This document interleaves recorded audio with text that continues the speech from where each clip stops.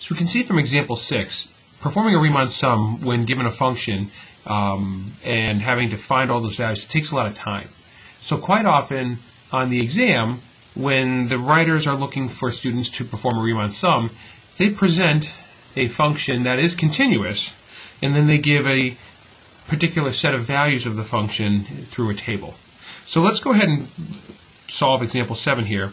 We uh, are looking to approximate, because again, a Riemann sum is approximation, the area under the curve using a left Riemann sum with six subintervals and then a right Riemann sum with six subintervals. So what's really happening with example 7? Let's, let's go to part A first, so the left Riemann sum. I'm going to make a graph of our table of values right here, which is something that you can do but you don't have to do. Right?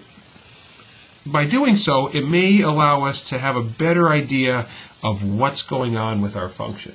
Right? So we know over 1 up 10, so I'm just going to eyeball things. Over 1 up 10, then over 3 up 14, over 4 up 15, over 7 up 17, over 8 up 19, over 10 up 20, and then over 14 up 11. So we're back down like here. All right. So if we were to actually, um, you know, we know this function is continuous, so we see that we have a graph which is doing, perhaps it's doing something like so. Okay. And we're going through these data points right here.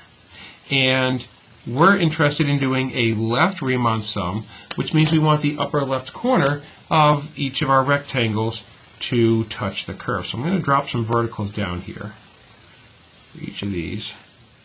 And we're going to make some rectangles, and we want the upper left corner of the rectangle to touch the curve. So there's our first rectangle, and our second, our third, our fourth, our fifth, and then finally our sixth. Okay, so the final rectangle is well above the function, but the previous five are all below. Okay. Now we are charged with finding the area of each of these six rectangles. Well, the first rectangle, um, it's going, it's touching at this point, and we know that this is 10 units up, so we have a height of 10. And then our base, well, we're going from 1 to 3, because we're over 1, and then we are over 3, and then 4, 7, 8, 10, and 14. So to go from 1 to 3, that's a change of 2. So we can see there that when we're doing our first rectangle, all right, this is our left sum, right?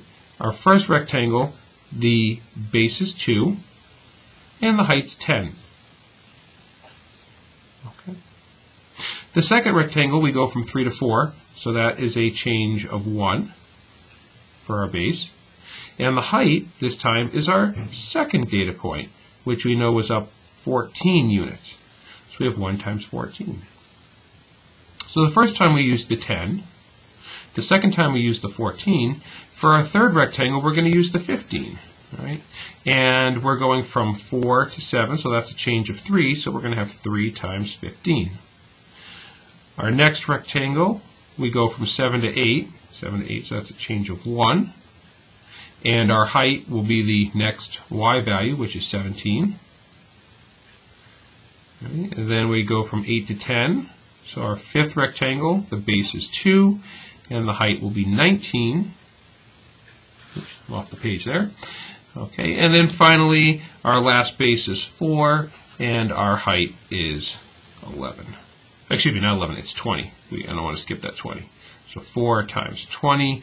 We don't end up using 11. Here's the 11 right here. You can see that it's not part of um, the top uh, border of any of the rectangles. All right. So we use the 10 because we have 1, 2, 3, 4, 5, 6, 7 values. We use the first 6 when we're doing a left Riemann sum.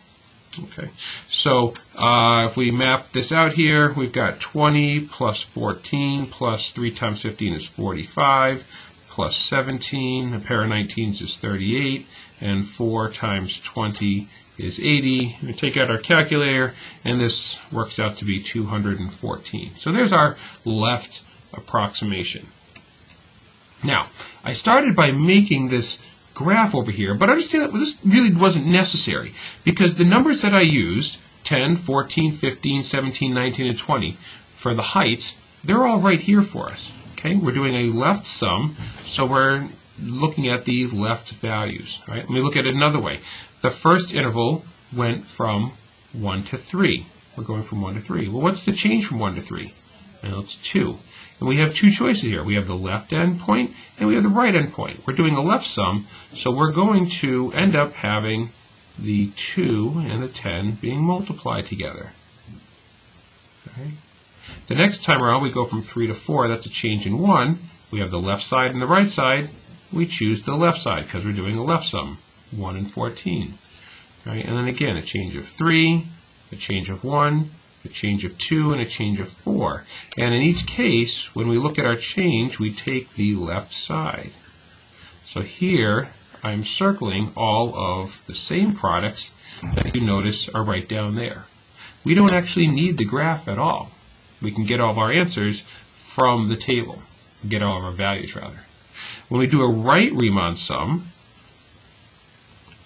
okay, now change over to the, we're going, we're still going to use the same bases, but we're not going to use the left end point of our rectangle. We're going to use the right end point.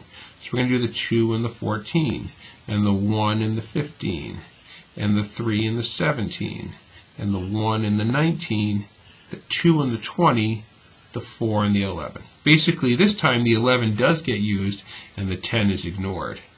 So when we put this all together, again, 2 times 14, and then 1 times 15,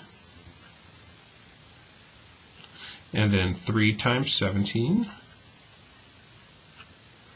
and then 1 times 19, 2 times 20, and finally 4 times 11. All right, so we have 28 and 15, and 3 times 17 is 51, and then 19, and 40, and 44. So when all this goes together, we have a total of 197. And that would be the approximation for a right Riemann sum, whereas the 214 is the approximation for the left Riemann sum.